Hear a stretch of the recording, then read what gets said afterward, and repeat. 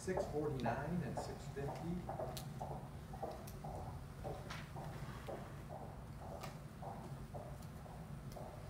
So often, when we think of fungi, we think of the mushroom. Of course, not all fungi make mushrooms, but a good number of them do, and so we think of that as the main structure. But really, the basic fundamental structure of a fungus are these filamentous threads that branch. Called branching filamentous threads. They're called hyphae. Singular is hypha, so a singular, a single thread is a hypha but they are rarely found as a single hypha. They're usually as a mycelium, a collection of threads. The reproductive structure is the threads packed in together to form the mushroom cap in this case. But most of the biomass of any fungus is the mycelium down in the soil. The mycelium in the reproductive structure is usually the tip of the iceberg. Some more on structure then is on the next page looking at those hyphae. So in this case, we have a kind of hypha that has many nuclei in it, but no cross walls or cell walls separating cells. So we call this cenocytic, a cenocytic hypha. A single filament without cell wall separations and a lot of nuclei in cenocytic. Others have the cross walls. We call them septate, separate The nuclei are in their separate cells. Some of them have pores like this one, but others do not have pores. The pores, of course, allow cytoplasm to go from one cell to another and any materials dissolved in the cytoplasm. So they don't show you the one without the pores, but it's not hard what they're like. Another aspect of their structure is the haustorium, which is from a single hypha, it penetrates into its host cells, might be a plant, might be an animal. In other words, these fungi are oftentimes parasites, but as we'll learn, not always. This finger-like structure penetrates the cell wall, but does not penetrate plasma membrane. So pretend like the plasma membrane of this plant cell, let's say, is in the goldish color, but pretend it's a latex or a latex glove. So in come the fingers of the haustorium. They can go through the cell wall, but they can't go through the membrane. So the membrane goes around the haustorium, like you would if it was a latex, latex glove.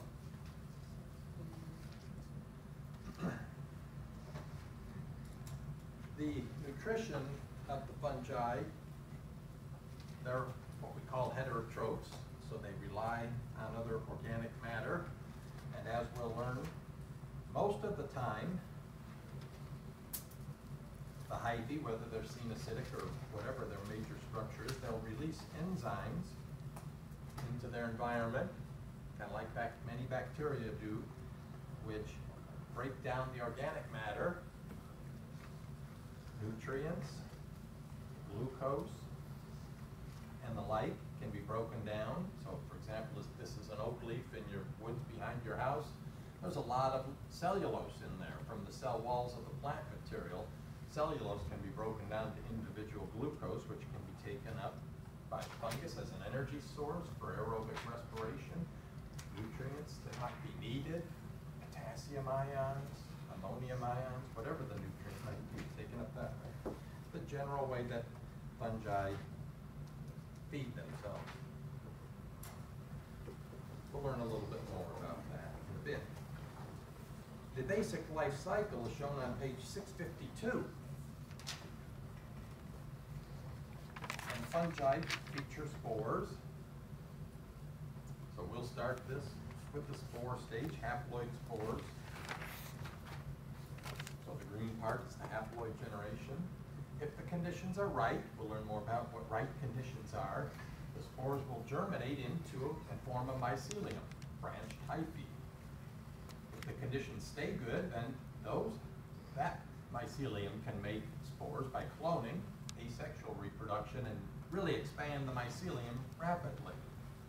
But usually when the conditions are changing, maybe drying out, two different hyphae from different mycelia can meet, see the basics on how they do that. They'll fuse their cells, that's called plasmogamy, so that now you have more than one nucleus in some of the cells at least, so that's called the heterokaryotic stage. That means at least two nuclei in a cell, could be more. Then later on, the nuclei will fuse, and you'll have the diploid stage, your brown, but then that cell can undergo meiosis and come back start the life cycle over again. So you can see most of the life cycle is typically haploid. Only a brief period is diploid, and I hinted last week that I'm gonna ask the question, why did fungi do it the opposite way that plants did? Their life cycles tended over time to expand the diploid stage, whereas fungi minimized it in most cases, minimized got to be thinking while we're going through this, why did fungi do the opposite from plants? Origin, what's the origin of the fungi? Well, we have good fossil evidence on the lower right-hand corner of page 653 where we seem to have spores, and as you've already seen, fungi have a lot of spores in their life cycle, and we see what looks to be hyphae emanating from spores. So it's not a hard guess, they those look like fungal spores germinating, and they're dated 460 million years ago. So not long after the plants went on to land, the fungi went on to land as well. Well, that seems makes sense because fungi are going to have to decompose something. And prior to there being plants on land, there was nothing up there really for them to decompose. So we shouldn't expect fungi before plants. After plants, and it turns out only 10 million years afterwards.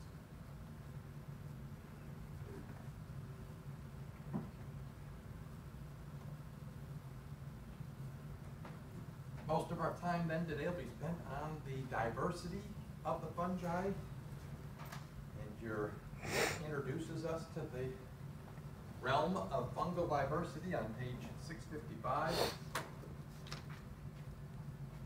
And you can breathe a sigh of relief. It's not as complicated as the protista that we learned about. It's only five groups. And here's their phylogeny. You can see the breakdown, the oldest group, the chytrids, more recently evolved ones, how many species there are each one. So five groups that we have to cover on this phylogeny. The first one will be the phylum Chytridiomycota, sometimes just called the chytrid fungi.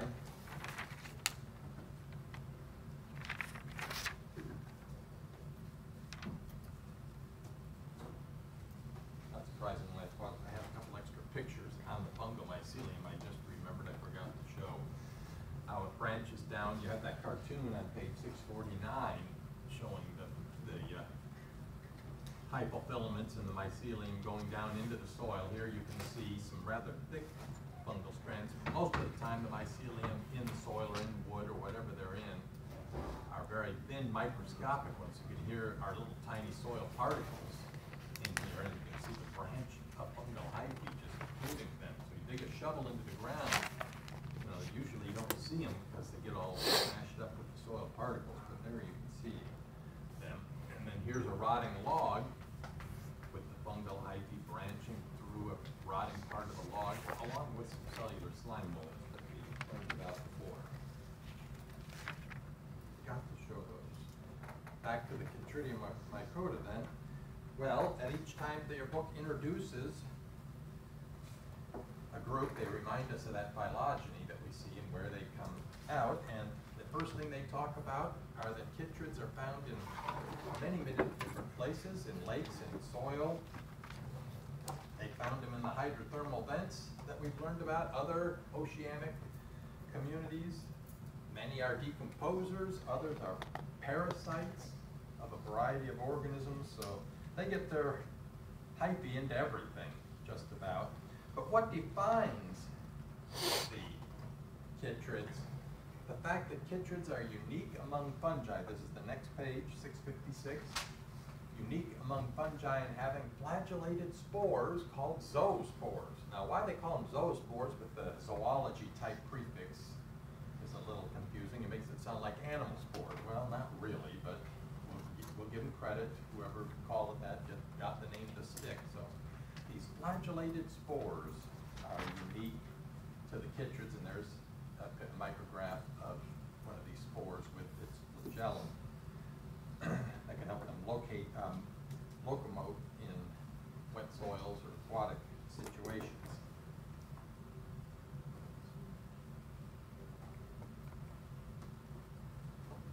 There is one particular kind of chytrid fungus that's getting a lot of attention over the last twenty or so years. Uh, you may have heard, uh, that in many parts of today's world, there are sharp declines in amphibian species, not so much in Indiana, even though we're a badly abused environmental state. They're, they're not falling off the map here quite as bad as other places, many other places they are, and it's due to a chytrid fungus where the zoospores that I mentioned form in the skin. So this would be in their belly region probably. Here's the epidermal layer up in the top, the subdermal layers, and you can see the spores are up just infecting the skin. And amphibians take a lot of moisture in through their skin. And it's not so much that they can't take in moisture, but maybe they don't get enough to have the proper ion concentration in their body fluids. So that would be one reason to speculate. We know that their ion concentrations are off, but it might be because water is not coming through as well, or maybe too much. So they die due to the ion imbalance. So here in the Sierra Nevadas of California, which otherwise seems to be a pristine uh, environment, has had big die-offs of these red-legged frogs, where they get, especially in this belly region, an infection like this, and then their internal chemistry is off, and they die. And this has really come up uh, rampant in the world. So that's Sierra Nevadas. Here's the uh, Andes Mountains in South America. And I believe here's one place where they first found it in 1980.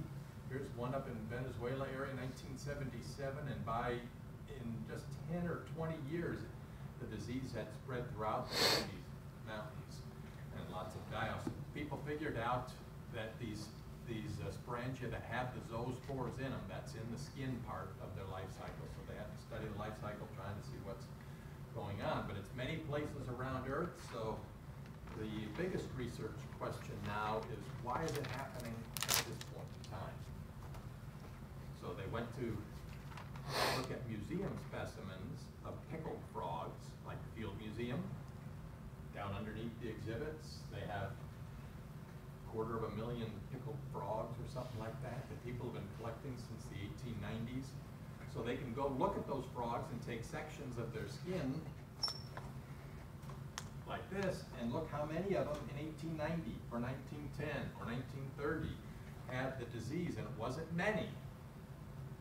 It wasn't many got the disease at uh, levels that a pathologist could say they have it. So the hypotheses that people are working on is that the chytrids have evolved, first one, first hypothesis, is that the chytrids have evolved uh, greater virulence.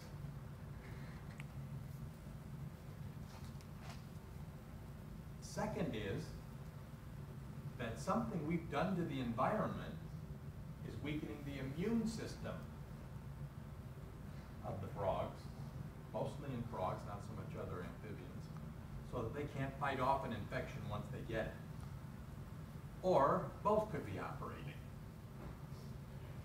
I've not been hearing whether they've made great strides on these two hypotheses as determining which one or the other, or both, or either are playing a role, but at least it's a starting point to try to figure out why there is such a rapid decline in amphibians that could cause a major extinction.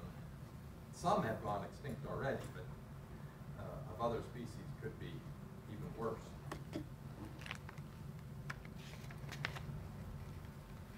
Chytridium. The next phylum is the Zygomycota. And for this one, we'll go through their life cycle, and once we're in their life cycle, we can figure out the defining feature, really. You can find the word in the text, but it won't mean as much until see what it is. So let's start with spores again. The most familiar to us in our day-to-day lives of a zygomycete submicota uh, species is the bread mold. If you've ever had moldy bread in your house one time, you've got the spores on your counter somewhere, unless you bleached the heck out of it, you've got those spores are somewhere in, on that counter all the time. So let's say you go home today and maybe you gotta go to work, but you're gonna get some lunch first, and you go into the refrigerator, pull out a loaf of bread, but you've leaned on the counter, so you got the spores on your fingers. You reach in and grab out two slices of bread, but a few spores fall off into the loaf. Then you tie the bread back up and throw it in the refrigerator so far in, nobody notices it anymore. And weeks and weeks go by, so those spores germinate, and that's this part right in here. The bread is moist, so the cenocytic mycelium, worth noting, is starting to work its way through your bread, and they make these sporangia to make more spores and continue to infect the bread because it's still moist right away. So here's some more spores germinating, and they have two different mating types. They're not male and female.